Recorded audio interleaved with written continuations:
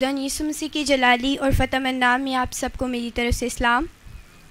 मैं चाहूँगी आए हम सब अपनी आँखों को बंद करें, सरों को झुकाएँ और मिलकर दुआ करेंगे कि पाक खुदा ने जो आज का हमें ये दिन बख्शा है, इसमें हमें खुदा तोफ़ीक बख्शे कि हम उसके कलाम पर पूरी गौर और तवज्जो करके वो बात जो खुदा हमें सिखाना चाहता है वो सीखें। और उसकी इस बात को अपने दिल में रखें क्योंकि उसका कलाम कैसा ही मीठा है और उसका कलाम कैसा ही सहत है जो चकनाचूर कर देता है हर एक बीमारी को, हर एक परेशानी को, जो चकनाचूर कर देता है हर एक गुनाह की मर्ज़ को। आइए अपने पाक खुदा से दुआ मांगे कि आज के इस कलमे के वसीला से जितने हमने सुने हैं, उन सब के वसीला से खुदावन पाक खुदा हमें बरकत दी और वो बात जो हमें सिखाना चाहता है वो हमें सिखाए। कदूस मेहरबान पाक खुदा, अजीम खुदा। नहायत ही मेहरबान खुदा, में आपकी शुक्रगुजारी करती कादिर खुदा। क्योंकि आप मेहरबान और अजीम खुदा हैं, आप ही कैसे भलाई करने वाले खुदा हैं। कैसे ही भले खुदा हैं और बनीनो इंसान के लिए एक अच्छा मनसूबा रखने वाले खुदा हैं। पाक खुदा अपने हमारे गुनाहों के सबब से हमें हलाक करना पसंद ना किया, बल्कि पाक खुदा अपना बेटा हमें दिया, ताकि कादिर खुदावन हमारे गुनाहों का कादिर खुदा कफ़ारा बने। मेहरबान और ज़िंदा खुदा, यीशु मसीह ने हमारे गुनाहों को, हमारी कादिर खुदा परेशानी को लिया। उन्होंने कादिर खुदा गुनाह के मसले को हल किया अपनी जान देकर। मैं आपकी शुक्रगुजारी करती, खुदावन पाक, खुदा आपकी शुक्रगुजारी करती। आज के कलमे के वसीला से कादिर खुदा हमें बरकत अता करना। जितने भी हमने सुने हैं कादिर खुदा, उन सबको कादिर खुदावन, हमें तोफ़ीक बख्शना ताकि हम माफ़ करने वाले बने। अपने माँ बाप की फर्मा बरदारी करने वाले बने, आप पर ईमान रखने वाले बने ताकि उस डाकू की तरह का दिल खुदा आपकी बादशाही के वारिस हो। और ए पाक खुदा आपके नाम में आगे बढ़ते चले जाएँ। जब हम परेशानी में हो तो आपको पुकारें और कहें कि, पाक खुदा, तू हमें छोड़ना हमें याद रख पाक खुदा। आइए पाक खुदा आपकी शुक्रगुजारी करते हैं। और इस कलमे में भी जो हम सुनने को जा रहे हैं, पाक खुदा, हम यकीनन उस प्यास को कादिर खुदावन यकीनन महसूस करने वाले हों और अपनी ज़िंदगी में लें कि आज आप हमसे कैसी प्यास चाहते हैं? मेहरबान ज़िंदा खुदा, मेरा ईमान है कि हमने जो कुछ भी मांगा, बड़ी ईमान से पा लिया। आमीन। आए, हम सब इसी तरह अपने कदमों पर खड़े रहेंगे।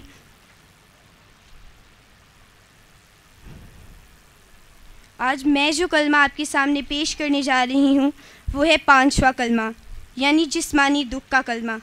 आइए मेरे साथ निकालिए योहन्ना की अंजील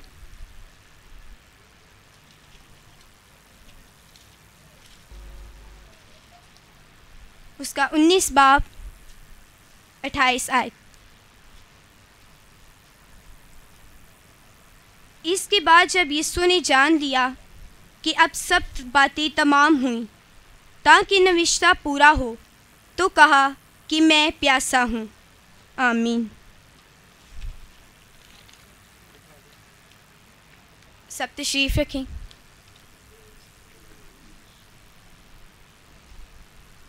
यकीनन मेरे अजीज़ों, हम सब जानते हैं कि यीशु मसीह हमारा निजात दहिंदा है। यीशु मसीह हमारे लिए इस दुनिया में आए ताकि बनीनो इंसान की निजात का काम हो। जब आदम और हवा ने गुनाह किया तो वो खुदा की उस बादशाही से महरूम हो गए जो खुदा ने उन्हें बख्शी थी। उनकी रफाकत जो थी वो खुदा से टूट गई। उनका रिश्ता वो जो खुदा उनके साथ बहाल करने को था, वो टूट गया। और ये सब कैसे हुए जब उन्होंने खुदा की नाफरमानी की? जब उन्होंने खुदा की बात से ज़्यादा किसी और की बात को तरजीह दिया, यानी अबलीस की बात को तरजीह दिया।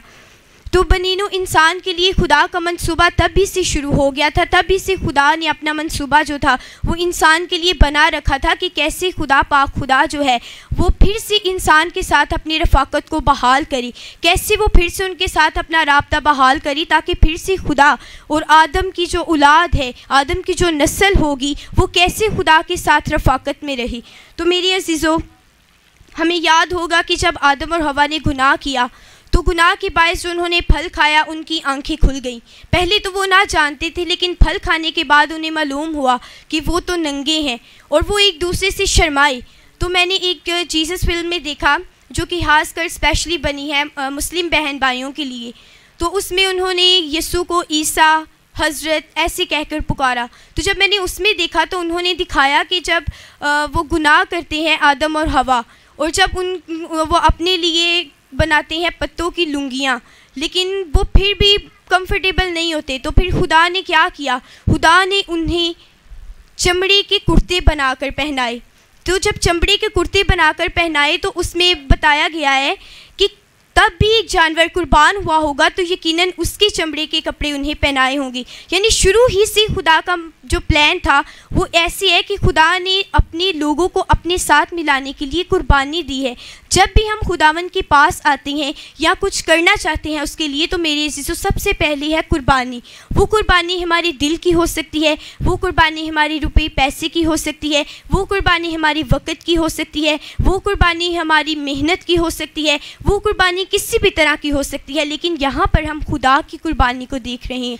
यानी कि शुरू ही से उसके प्लान में था कि कैसे उसने बनीनो इंसान की गुनाह और शर्मिंदगी को ढांपना है, कैसे उसने बनीनो इंसान को बचाना है। कैसे उसने बनीनो इंसान के लिए एक नजात का मंसूबा करना है? तो उन्हें खुदा ने तब ही उन्हें एक नमूना दिखा दिया था कि कैसे उनके गुनाह को, कैसे उनकी शर्मिंदगी को ढांपा जाएगा।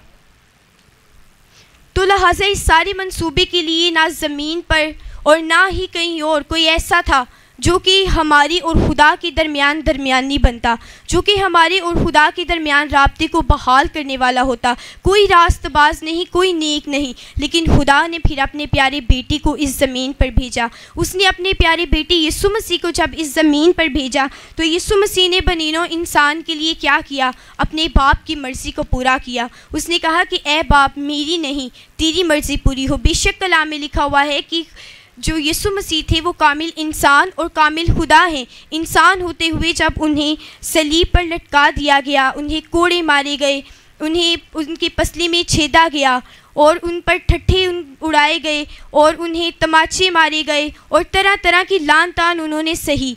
फ़कियों फरीसियों की दूसरे लोगों की, आम लोगों की, लेकिन वो किसके लिए? सिर्फ़ हमारे लिए। और जब सलीब पर यीशु को लटके हुए 18 घंटे तकरीबन हो चुके थे, और तब उन्होंने ये अपने मुँह से अल्फाज कही कि मैं प्यासा हूँ। यानी कि खुदावन यीशु मसीह कामिल इंसान होते हुए अपनी प्यास का इजहार करते हैं कि मैं प्यासा हूँ, क्योंकि हमारा खुदावन यीशु मसीह जो है, वो बेशक कुदरत वाला है। लेकिन वो ऐसा खुदा है जो अपने बाप की मर्ज़ी को पूरा कर रहा था। तो उसने इंसान होते हुए अपनी इस बर्दाश्त को भी, अपनी प्यास को भी बर्दाश्त किया। तो जो वहाँ पर सिपाही खड़े थे, उन्होंने इसलिए सिरके से भीगा हुआ वो स्पंज नहीं था, खुदा यसमसी के आगे किया कि उनकी प्यास बुझे, बल्कि इसलिए कि जब वो पिए तो उनके अंदर जाए तो जब वो ले तो वो ज़ख़म को और ज़्यादा तेज़ कर देती है, दर्दनाक कर देती है। तो इसलिए, लेकिन मेरी अज़ीज़ खुदा यसु मसीह ने ये सारा दुख, ये सारी कर्ज इसलिए सही ताकि हमारी और खुदा की जो रफाकत है, वो खुदा के साथ दोबारा से बहाल हो सके। फिर हम देखते हैं, योहन्ना की अंजील में, उसके चार बाप और सात आयत में कि यीशु ने सामने औरत से कहा कि मुझे पानी पिला। जब यीशु ने सामने औरत से कहा कि मुझे पानी पिला तो वो बड़ी हैरान हो गई। उसने कहा कि तू यहूदी होकर मुझ सामरी से पानी माँगता है?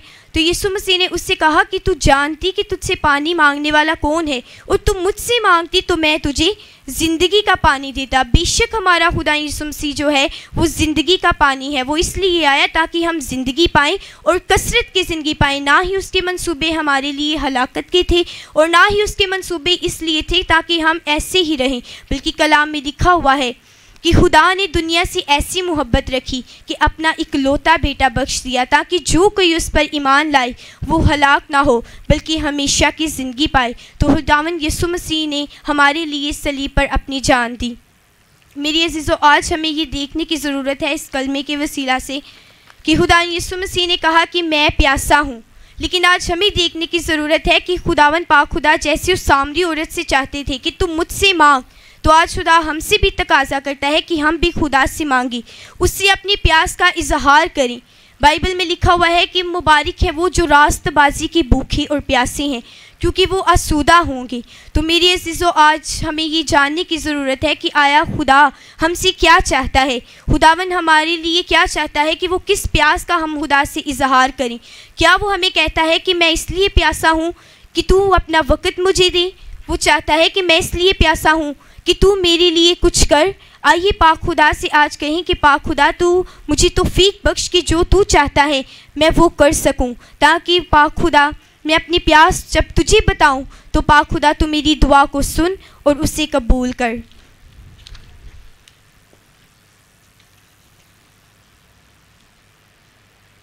आखिर में मैं एक आयत बोलना चाहूँगी। तुमको ईमान के वसीला से फजल ही से निजात मिली है। और ये तुम्हारी तरफ़ से नहीं, बल्कि खुदा की बख्शिश है।